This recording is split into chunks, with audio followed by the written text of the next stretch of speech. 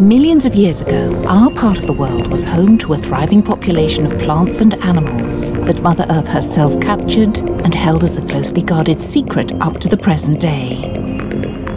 The story of the giant oil and gas reserves on the Norwegian continental shelf is a tale packed with feats and milestones. Ever since the discovery of the immense Ekofisk field in 1969, it has been clear that this would rewrite the story of Norway and of Europe. Eight years after the discovery of Ekofisk, the first gas pipelines to Europe opens. Two years later, production starts at Statfjord, the world's largest offshore oil field.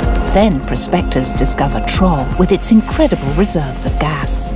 All this demanded smart solutions to new and unique problems, because there are special challenges linked to every field. But another equally demanding feat has been achieved. Getting all this to function together in a single network, a unique system for the secure, reliable delivery of gas from the Norwegian shelf to the markets of Europe. That is what we do. We are the ones responsible for ensuring that gas from the Norwegian shelf flows constantly to the markets in the right quantities and the right quality. Our task is to control the flow through pipelines and processing facilities, to operate and maintain plants and terminals, and to plan for the future. It is our job to look to the future and identify new and efficient solutions. We plan new pipelines and new facilities in what is already the world's largest offshore network for transporting gas.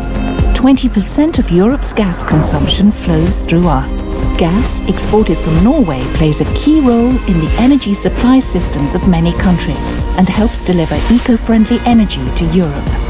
Millions of people in Great Britain, Germany, Belgium, and France will be reliant on gas from Norway for years to come.